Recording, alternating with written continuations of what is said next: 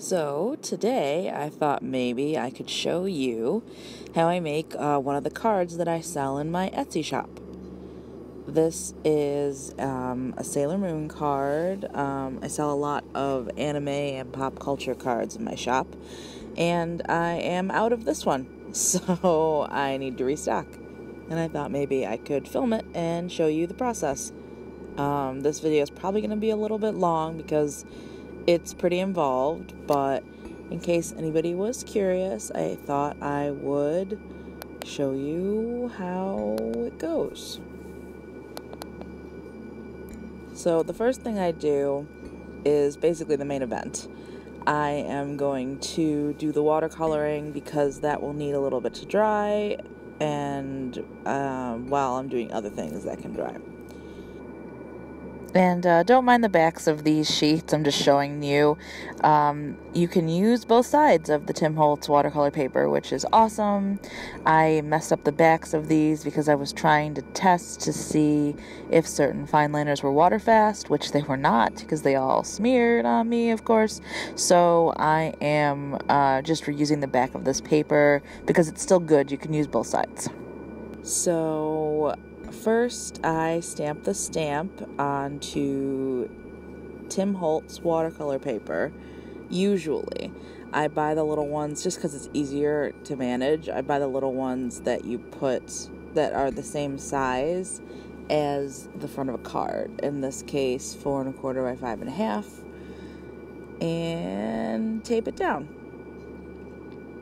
So, this is the stamp that I use it is a Stampin' Bella stamp. And basically, when I make my pop culture cards, I pretty much shop around for stamps that I can edit in some way or change in some way so that it looks like whatever character. In this case, uh, Sailor Moon and Endymion, Tuxedo Mask, whatever. And yeah, after I tape it down so that it doesn't curl, I stamp this image with uh, StazOn ink so that it doesn't bleed when I put water on it. And you'll see here I'm doing three. Uh, it's just because I am out of these cards and I need stock. So I usually make three or five, sometimes even ten of these at a time. It's just more economical as far as time. But yeah, so I stamp them out and then I use India ink to edit the stamp.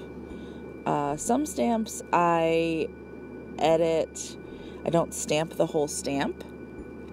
So, and I I usually like that method better, but because this is a really big stamp and it's really um it's really intricate, it's hard to skip certain sections of it. So instead of skipping the sections, I just pretty much literally ignore them. It, it'll look kind of kind of messy and busy now as I'm editing with my dip pen and India ink.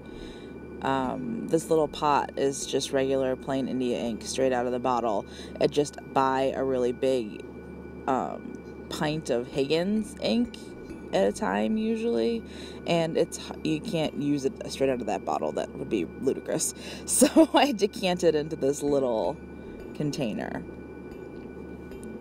So but yeah i um it looks a little bit a little bit messy i guess doing it this way but when you block in the color actually you hardly notice the like extra details, if you will, they really kind of disappear. But yeah, so let the India ink totally dry. I usually set it aside for a good half an hour just to be sure it's totally dry because India ink is water soluble until it dries, then it's water fast, which is a really cool thing. Um, so yeah, we'll come back to I come back to it in about half an hour and it's ready for watercoloring. Now, you can use anything you want to watercolor. Pan sets. I have the Derwent Inktense set. I have um, a Winsor & Newton set. I have a Sakura Koi set. I've used my watercolor pencils. I have tube watercolors I've used before. The I use the Mi Yellow, Mi Hello, Mi Jello. I even and I use Tim Holtz Distress ink um, to watercolor as well. Today I'm just gonna use the Distress ink because that was pretty much literally the first thing I put my hands on, and it's easy. But like I said, you can use anything you want to watercolor these as long as it is water soluble. I you could I've never used them before, but I'm sure you could use uh, water-based brush pens and a water brush and like you know blend it. I'm sure that would work fine. Whatever medium you want to use um, that's water soluble would be great for this.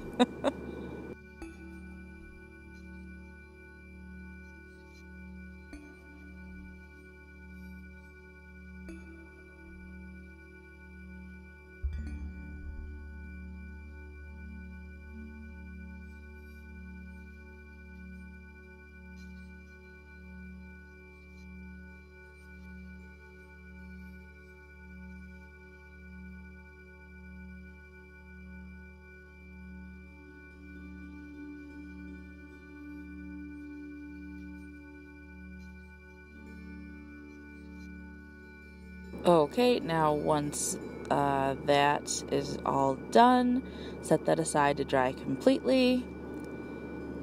And once it is dry, I take it and fussy cut it out. There's nothing fancy or, you know, anything like that about it. You just fussy cut it. You can't use a die with these, even if I don't think these stamps have dies, but even if they did, on other stamps that I use that do have dies, you can't use the die because you've edited the actual shape, the actual silhouette of the stamp. So your only option really is to just fussy cut it.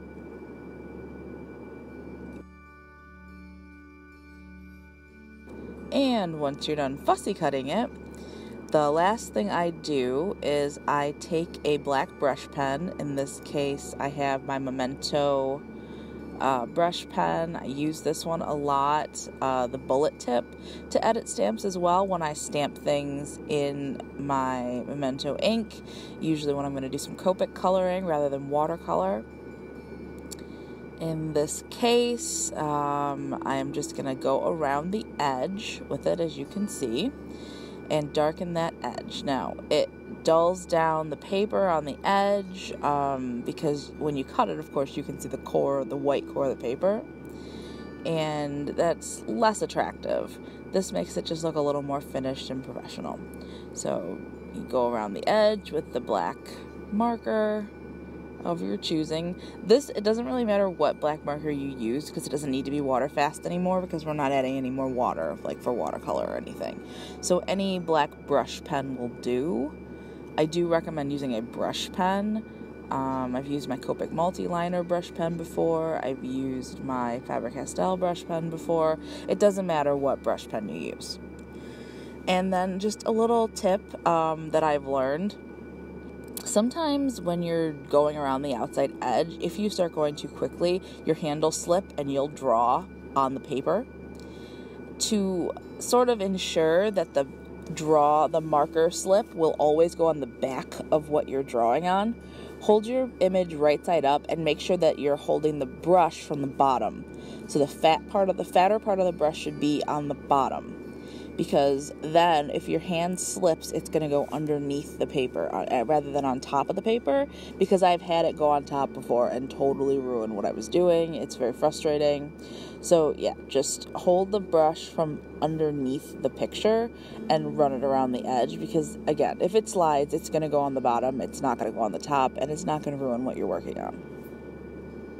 And now that we've finished the watercolor, we'll put that aside and that will be the very last thing that we add besides embellishments. So that can sit aside for a while.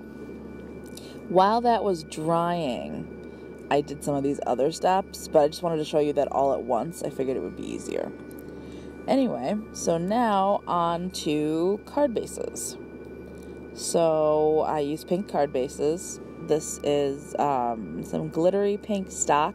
I actually don't really like this paper. It's nice, heavy, thick cardstock because I use really thick cardstock for my cards. I, I like the, the feeling of something of heavier stock in my hand. So I buy heavy stock. But this is it's like metallic glittery paper and it's like slippery.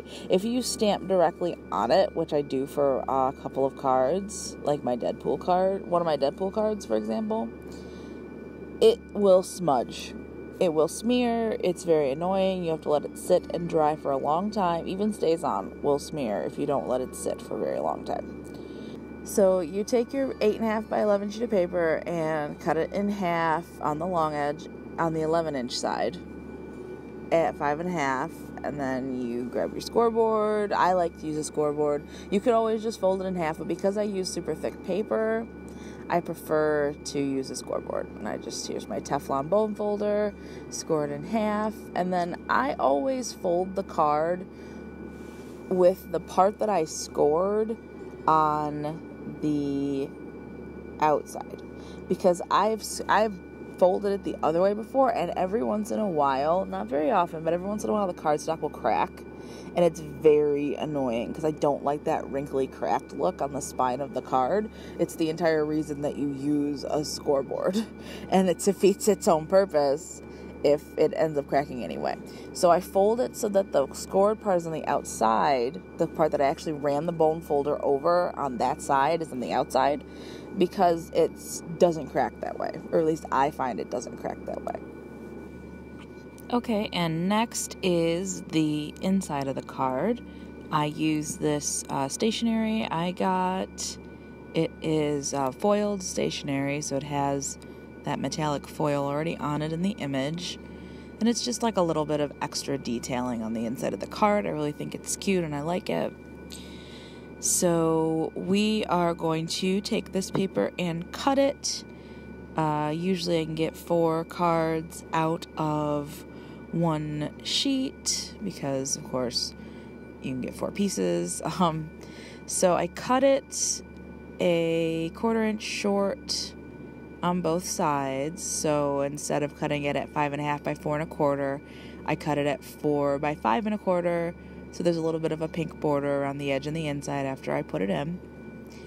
And the message on the inside, it's one stamp. Uh, sometimes I have cards who have really custom messages on the inside or on the outside, and I have to spell them out with alphabet stamps, and it's very annoying. But this one's just one stamp, thankfully, and we are going to emboss it with some copper embossing powder. So, uh, the first thing I'm going to do when I am going to emboss is I'm going to, usually, I'll use my embossing buddy. I can't find my embossing buddy, of course, the second I want it for a video and I can't find it. So, the other thing that I do periodically use, and I find that it actually works just as well. So, I don't really care that I can't find my embossing buddy. This is fine. I will use just a regular paintbrush and uh, some cornstarch. So you just dip the paintbrush into the cornstarch, smear it on the outside, no problem. Tap off the excess if you, you know, get a little bit too much.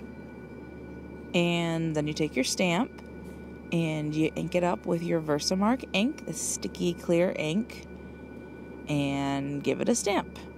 Now, because these are words, the letters are, are kind of thin in places, so really really make sure you get that ink on there and then really make sure you stamp it real well, real clear. Don't rock the stamp too much because it's a wooden based stamp. I can rock it a little bit more than a photopolymer stamp usually, but don't rock it too much because then you'll you'll screw up your lines and then the words will look messy.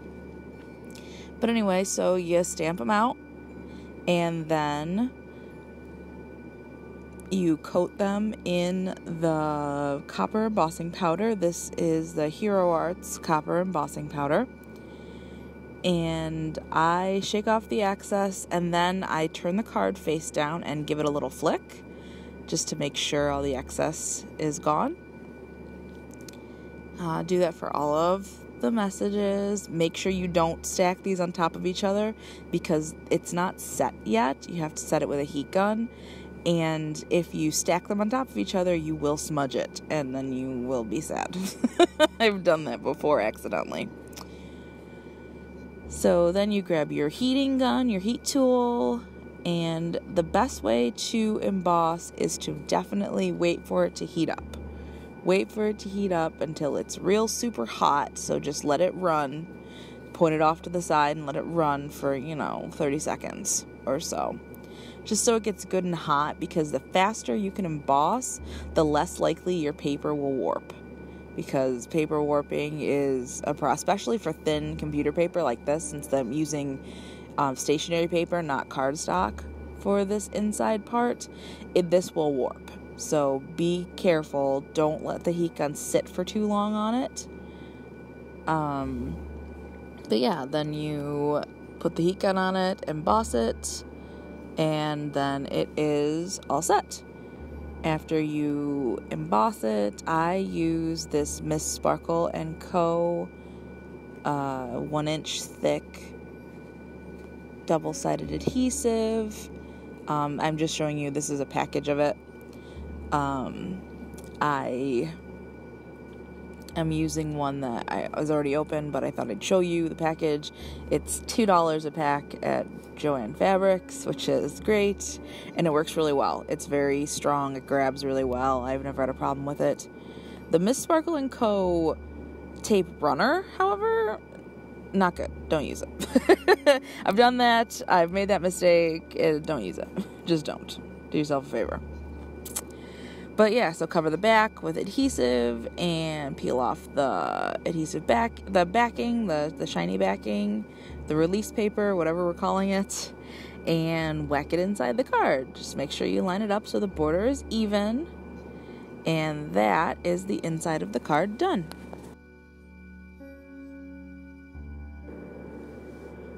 Moving on to the front of the card, we will do the lowest layer first and sort of build them up. This card has a lot of layers on it, it's what makes it pretty. So, uh, layer one, uh, we'll need a really light pink paper, and I have a whole bunch of different ones here. I've, i use 12 by 12 uh, papers, I use my 6 inch uh, 6 by 6 card um, stack or paper stacks. Um, anything that's just a really light pink will work just fine here. Um, right here, I'm cutting it to basically, I'm just cutting a piece out of the of the little paper packs because I don't like to tear out those. Um, but you can, it's totally fine. Uh, the strip ends up being about two inches wide, so just plan for that. It doesn't really it doesn't really matter how much you have as long as it's more than two ish inches. And uh, so you take a punch now you can use any edge punch you want here. I have a couple here to show you a couple different ones. Um, i have a butterfly one which is my favorite one to use but um, it's a little time consuming because it's a smaller punch. It doesn't punch as many sections. It only punches one scallop of butterflies at a time which can be annoying. But you punch the edge out um, in this case the um,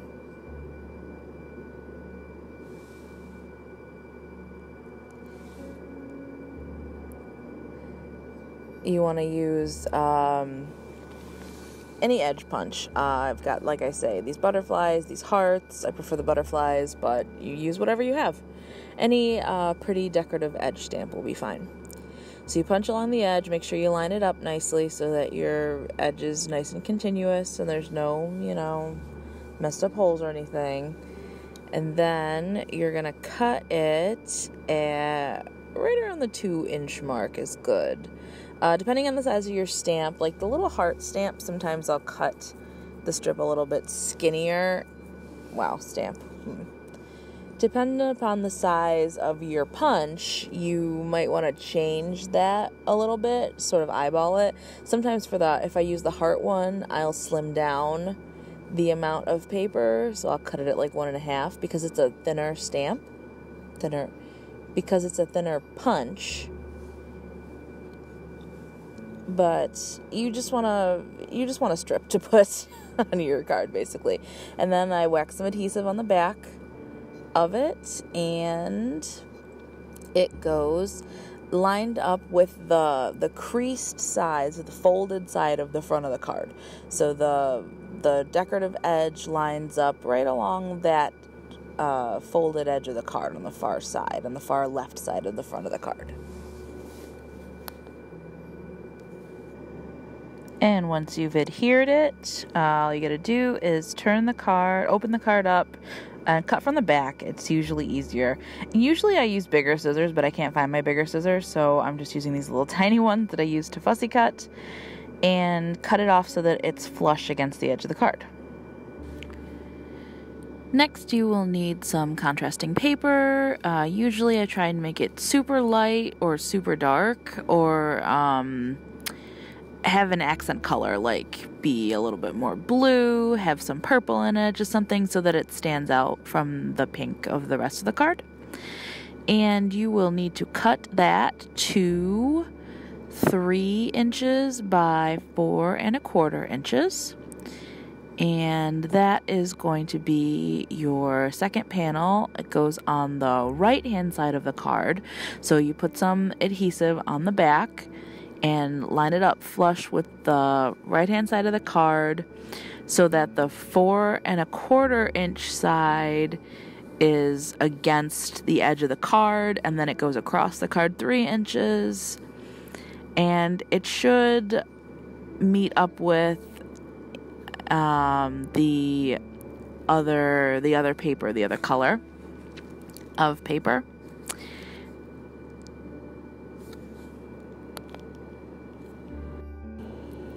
Next, you'll need some vellum. I use this 40 pound vellum by Bazzil. It's the thickest vellum I can find, and I like it the best. I'm obsessed with using thick stocks. So, I take um, this little stamp I have. It says, All you need is love. And my StazOn ink once again, and just stamp it a couple of times. Um, I stamp it in sort of the middle of the short sort of the middle of one half of the short side of the paper and then the middle of the other half because I know it's going to have to be about four and a quarter tall to meet up with the edge of that little piece of accent paper we just put on. So I'm going to cut and then I'm going to take my paper cutter and I'm going to cut so that the strip is just as wide as this little stamp and it's actually reasonably easy to do because of the vellum because you can see through it. So you can see where the edge of my paper trimmer is because I have the guillotine style paper cutter. You can see where it hangs off the edge and you can line that right up with the cutting blade and then slice it. And then after you cut it I um, stick it down. I use a lot of different things, honestly. Um, sometimes I use mini glue dots. Sometimes I will use double sided adhesive. Right now, I'm using some Ranger Multi Medium Matte because that's what I had on hand. It was the first thing I grabbed, so it works. then, after you put that down, we will have to make those little decorative bars of hearts that go across the top and bottom of the card. For that, I use this metallic sticky back vinyl.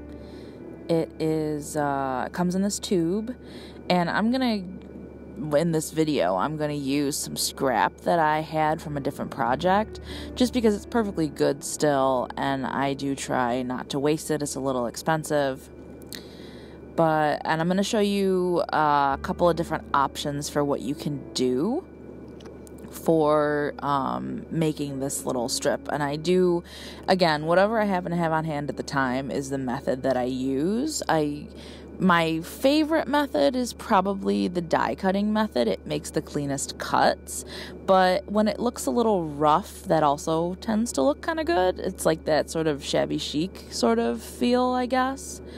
Um, so I like it either way. Um, the die cut's also probably the easiest but that's probably also because I have a vagabond, so I just like push a button and a couple of times and it's done. uh, you could also probably do this with a Cricut. I have a Cricut machine and I've never used uh, it for this before, but I'm sure it would work just fine. So, uh, what I do is I will take a punch of some kind. In this case, uh, this is just a Stampin' Up! mini heart, and just punch a bunch of these out. And as you punch them, peel off the back and stick them down on a piece of just plain white cardstock. This is 80 pound cardstock in a line. And it's as simple as that. Sometimes when you're using a punch, when I'm using a punch, I find that the um, the vellum will stick, or not vellum. I'm sorry, the uh, vinyl will stick, or like the adhesive backing will come off, and then the sticky vinyl will be like exposed, which is uh, not so good. It gums up your stamps or your punches sometimes, but it's not that hard to clean out. Usually, I use a uh, tweezers to place these hearts, so I make sure that I get them in a nice straight line with a even spacing. But I can't find my tweezers. And then after you have a row of those, you just tr- um, put some adhesive on the back. I'm using, again, this is the same brand double sided adhesive that Mrs. Sparkle & Co. This is just the quarter inch wide tape.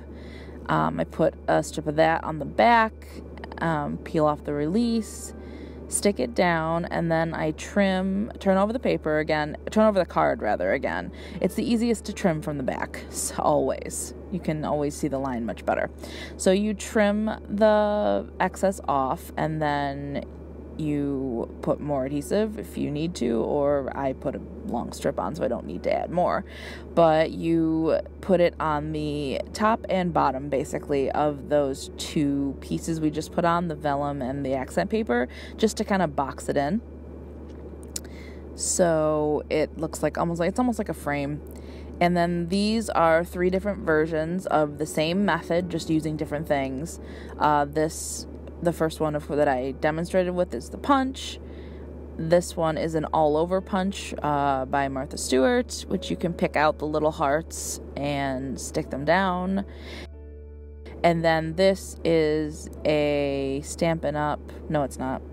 This is a Simon Says Stamp die that I um, use. I like the the Simon Says Stamp method probably the best because like I said the die cut is the easiest but I also like the Martha Stewart all over stamp or all over punch entirely because it punches out multiple hearts at once rather than with the Stampin' Up! mini heart stamp that or mini heart punch that I have. You have to do it one at a time and it can get pretty tedious. But it's whatever your preference is whatever you happen to have on hand will do just fine. It'll do the job. And we are almost done Next is this die from uh, Our Daily Bread Designs called Ornate Hearts. And I cut out a white heart using the biggest die without any of the inserts. Just that big, um, roughly Valentine's Day heart, if you will. And then that gets some adhesive on the back. And it goes, I line up the left edge of the scalloped heart, lace frilly stuff with the edge of that vellum strip because I don't want it to really overlap it. And so I, I, I put on as much of the heart as possible. And then, and that varies a little bit depending on where exactly you put the vellum. And then I turn the card over again and trim off the excess for that heart. And then, last but not least, as far as the uh, design elements go, I guess, we are gonna bring back the watercolor Sailor Moon and Endymion, and they get some uh, dimension. I will put some mounting tape on the back. This is just regular 3M wall mounting tape, foam tape, and we'll just put a whole bunch of that on the back of them and put them on. I put Sailor Moon on over as far as she can. Usually her foot is overlapping the vellum a little bit. So I can get as much of the image on as possible. And then once again, turn it over and trim off the excess. Usually it's just uh, a little bit of Tuxedo Kamen's cape and then maybe a little, a couple of the frills on her dress. Again, depending on where you put the vellum and all that, how much space you're going to have. And then that's all the design elements put on. The only thing left to do is put on any little embellishments. And I will use anything for embellishments from little flatback pearls to little crystals to um, enamel dots, buttons I've used before. I have some star shaped buttons that are cute. Uh, it entirely, whatever you have, just little embellishments just to make it a little more pretty and a little more interesting. I also will usually use uh, Nuvo drops. I have many colors. You just pick a color. Sometimes I use pink, sometimes I use copper, I use gold, I, whatever. Just use a little bit of the Nuvo drops, and I usually make at least one heart and that's really easy. You just make a little blob and then drag it down a little ways, and then make another little blob right next to the first blob and drag it down to meet the other like little drag, and it makes a little heart. And then you just have to let that sit and dry. The Nuvo drops take a while to dry. Usually give it an hour or two just to be safe because sometimes the outer layer of the Nuvo drops will dry, but the underside is still gooey and it will mess up if you go to the next step, which I guess if you're not selling the card is not really the next step. I guess maybe putting it in an envelope would be your next step. But again, I would wait a few hours if you use Nuvo drops just to be sure that they're dry. And last but not least is packaging. Now, um, if you're not selling these, then you just next would be to put it in an envelope, I guess, and address it or put someone's uh, name on it. But for me, I sell these, so I every card that I sell gets is put in a little plastic sleeve, and I include an envelope as well as one of these little sealant stickers so you don't have to lick it. It's like the ones that you get for, from, like, if you buy cards from Papyrus. You uh, get these little adhesive circles so that you don't have to lick the card because I that's gross. I don't like to do that. I wouldn't want other people to have to do that, so that's why I include it. But yeah, you just seal it up in there, and then the card is all set. I'm really sorry that this tutorial was so long, but you know, I mean, it's a very long process. These cards, sometimes these cards take me hours to make. So it's, you know, it's a little bit of one way versus the other. Uh, but anyway, let me know if you like this tutorial. I've never put a card tutorial up before. Um, I don't know if anybody would be interested in them, but I thought I'd try it out, you know, because it's something that I do. Uh, let me know if you want to see more tutorials. Uh, let me know in my Etsy shop if you want which ones you want tutorials of, because I'll do tutorials for any of them. I don't care. Um, it's just a very long filming process. It took me all day, which I was not expecting, but it did. Uh, but anyway, yeah, so if you give me a like and a comment, so let me know what you want to see as far as um, cards, and also let me know which method you liked best for that of that vinyl. I like I say, I'm pretty sure I like the die cutting method the best, but I'd be super interested to know which ones you guys like the best. Do you do you like the little punches? Do you like the bigger punch? Do you like the die cuts? I I don't know. I've I've never asked anybody that before, so um, let me know what you think. I'd be interested. Uh, but yeah, so uh, like, subscribe, share, comment, all those good things, and I will have a new video up for you soon. Um, until then, I will talk to all of you later. Bye.